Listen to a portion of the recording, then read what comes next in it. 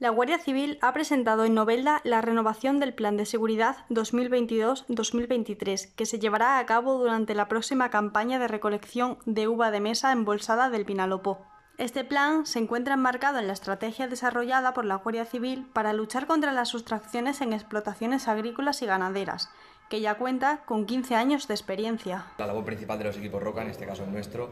es la de investigar y prevenir los delitos en las explotaciones agrícolas y ganaderas, como en este caso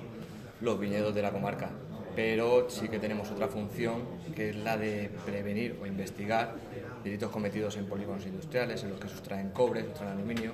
eh, cualquier tipo de zona aislada, casas de campo en las que se llevan herramientas, todo relacionado con aquello en lo que la presencia quizás sea un poquito más difícil vigilar.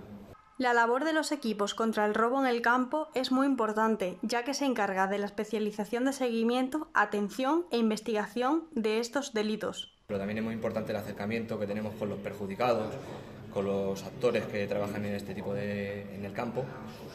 para tener una cercanía y una información que, a pesar de que ellos consideren que no, no tiene relevancia, para nosotros sí que la tiene y nos pueden llegar a la consecución de, de unos buenos resultados.